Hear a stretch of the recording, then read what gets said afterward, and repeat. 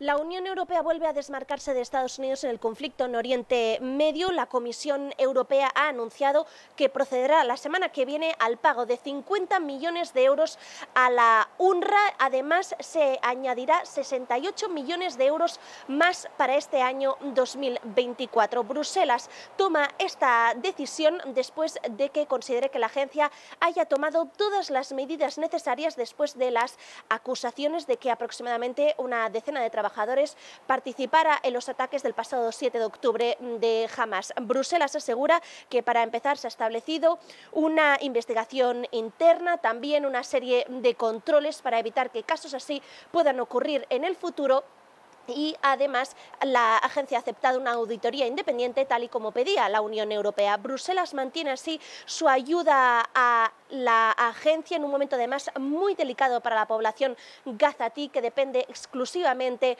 de la ayuda humanitaria. Esto además se produce apenas 24 horas más tarde de una matanza de civiles en que la población solo se acercaba a los camiones en busca de comida. La Unión Europea ha reprochado los hechos, incluso varios líderes han pedido una investigación independiente de lo ocurrido.